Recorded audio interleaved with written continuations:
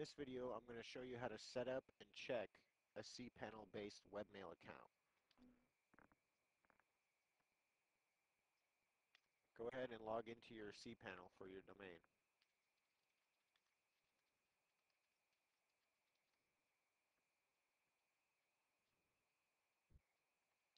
Click the Mail button to set up your new account. Click Add Remove Manage Accounts to add your new email account. Click Add Account to begin the creation of your new account. Enter the email you want to use for this new webmail account.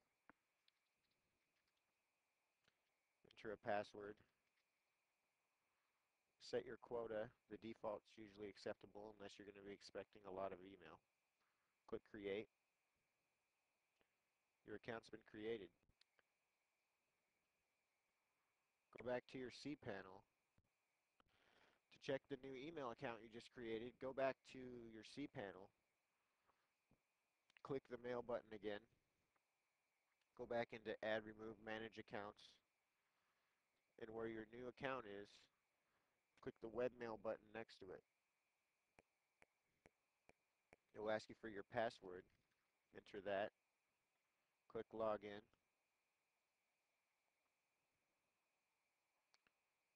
And you could select either SquirrelMail or Horde. Select Horde. Log in.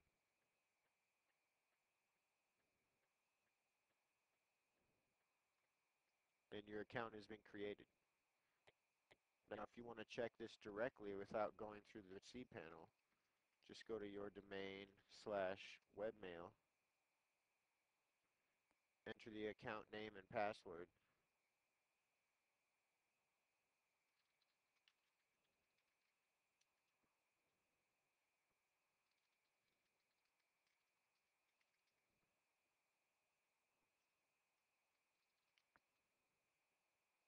Click OK.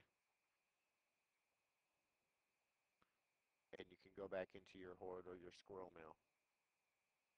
It's that easy. Enjoy.